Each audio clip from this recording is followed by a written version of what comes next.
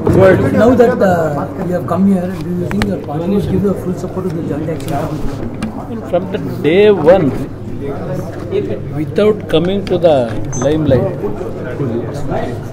on the background, we are supporting who are going to protest against recent uh, central government uh, Act and NR, NRC Act. We are totally against to this act, even in the on the floor of the house in the parliament, in Rajya Sabha. We opposed it from our party. We are totally with this uh, protest rally, we are supporting them.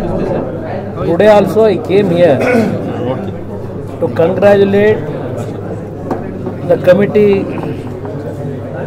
nearly 34 organizations from minority community who have succeeded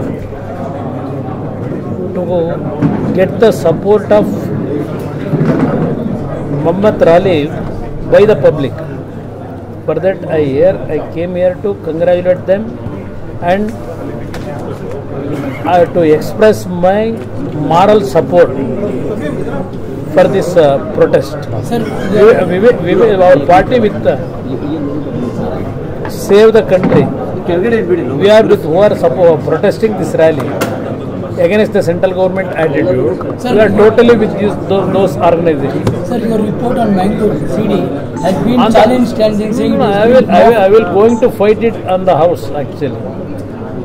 How to take it in the house, on the floor of the house. I know. I have collected so many documents. How police machinery misused by the government.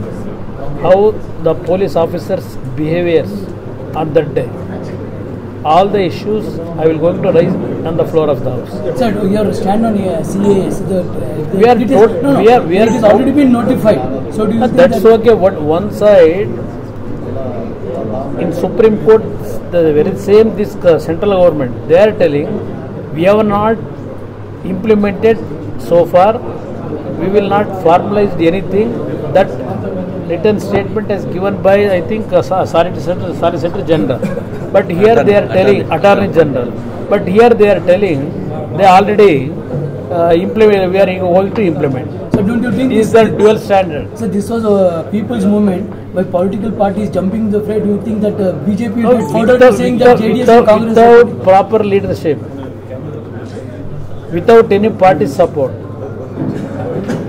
in this country, youngsters and several organizations who have committed to the constitution of India, they are fighting. For that, actually, all parties they have to come together and solidly stand behind them to, re, uh, to withdraw this uh, bill by the central government.